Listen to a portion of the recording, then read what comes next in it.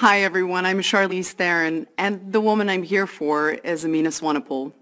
Together with her mother, Amina started Roots of Health, a reproductive health organization that provides educational and clinical services free of charge to women and young people in the Philippines.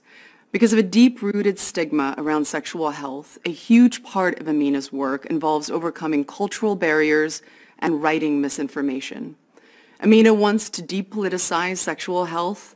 She's formed strong community bases, support systems, and her efforts are saving lives, empowering young people to make healthy choices and reduce the spread of HIV and AIDS. I'm so proud to celebrate Amina's leadership. She's compassionate, driven, and safeguarding countless futures.